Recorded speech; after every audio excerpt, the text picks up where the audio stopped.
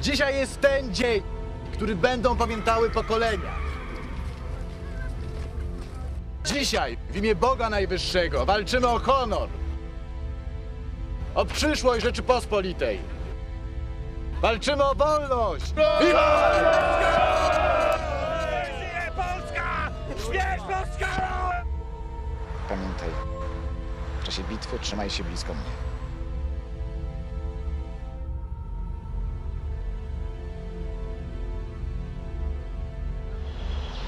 Szymon, boję się.